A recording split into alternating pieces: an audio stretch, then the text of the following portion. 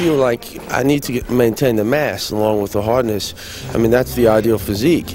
But, uh, you know, nobody really knows what, what uh, the ideal physique, uh, physique number is. It shouldn't be a number. You should just watch the mirror. And, and uh, you know, I just happen to use the scale as a gauge uh, just to help me, you know, mentally sometimes. Because if you're dropping and you don't see it, and you see in the mirror, well, I'm getting a lot more ripped, I'm getting really hard now, but you're dropping too fast, you might be losing muscle. So you've got to be conscientious in that uh, sense. So that's what I'm doing, know.